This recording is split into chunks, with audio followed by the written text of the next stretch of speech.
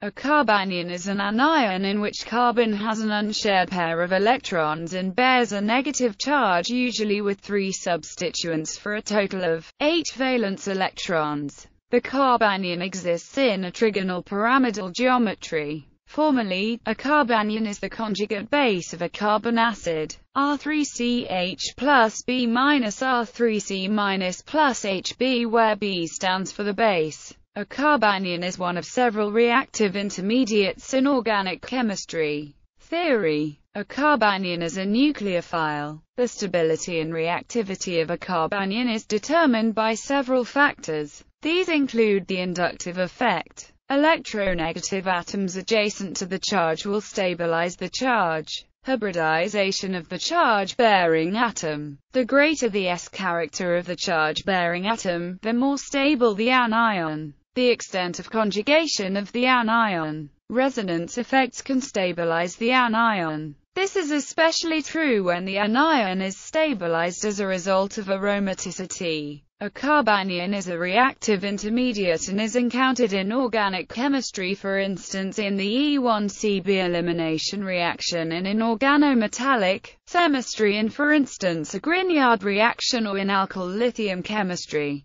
Stable carbanions do however exist. In 1984 Olmstead presented the lithium crown ether salt of the triphenyl methyl carbanion from triphenyl methane, N-butyllithium and 12 crown 4 at low temperatures. Adding N-butyllithium to triphenyl methane in THF at low temperatures followed by 12 crown 4 results in a red solution and the salt complex precipitates at minus 20 degrees Celsius. The central C-C bond lengths are 145 pm with the phenyl ring propelled at an average angle of 31.2 degrees. This propeller shape is less pronounced with a tetramethylammonium counterion. One tool for the detection of carbanions in solution is proton NMR. A spectrum of cyclopentadiene in DMSO shows four vinylic protons at 6.5 ppm and two methylene bridge protons at 3 ppm whereas the cyclopentadienyl anion has a single resonance at 5.50 ppm. Carbon acids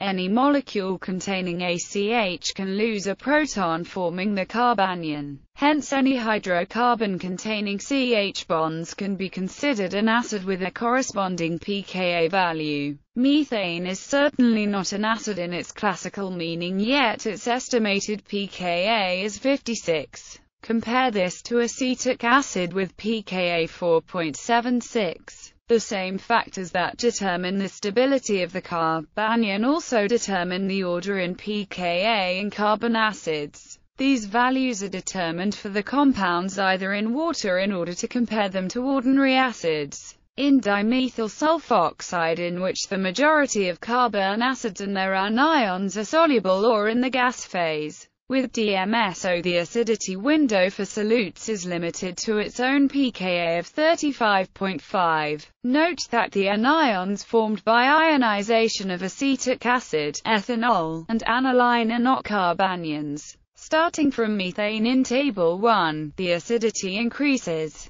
when the anion is aromatic, either because the added electron causes the anion to become aromatic, or because the negative charge on carbon can be delocalized over several already aromatic rings. When the carbanion is surrounded by strongly electronegative groups, through the partial neutralization of the negative charge, when the carbanion is immediately next to a carbonyl group, the alpha protons of carbonyl groups are acidic, because the negative charge in the enolate can be partially distributed in the oxygen atom. Meldrum's acid and barbituric acid, historically named acids, are in fact a lactone and a lactam respectively, but their acidic carbon protons make them acidic. The acidity of carbonyl compounds is an important driving force in many organic reactions such as the aldol reaction. Chiral carbanions. With the molecular geometry for a carbanion described as a trigonal pyramid the question is whether or not carbanions can display chirality.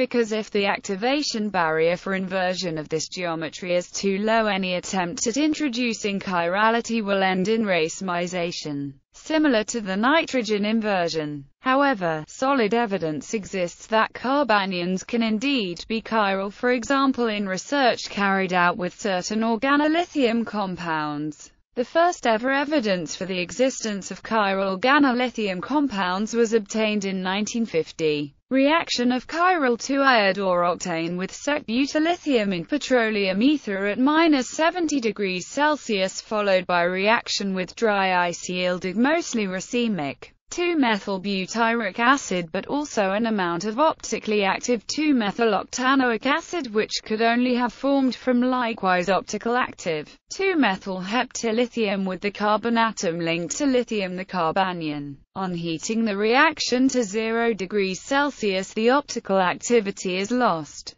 More evidence followed in the 1960s. A reaction of the cis isomer of 2-methyl-cyclopropyl bromide with sec-butyllithium again followed by carboxylation with dry ice yielded CIS 2-methyl-cyclopropyl carboxylic acid. The formation of the trans-isomer would have indicated that the intermediate carbanion was unstable. In the same manner the reaction of 1-bromo-1-methyl-2, 2-diphenylcyclopropane with N-butyllithium followed by quench with methanol resulted in product with retention of configuration. If recent data chiral methyllithium compounds the phosphate 1 contains a chiral group with a hydrogen and a deuterium substituent. The stannyl group is replaced by lithium to intermediate 2 which undergoes a phosphate-phosphorane rearrangement to phosphorane 3 which on reaction with acetic acid gives alcohol 4. Once again in the range of minus 78 degrees Celsius to 0 degrees Celsius the chirality is preserved in this reaction sequence. History a carbanionic structure first made an appearance in the reaction mechanism for the benzoin condensation as correctly proposed by Clarke and Lapworth. In 1907,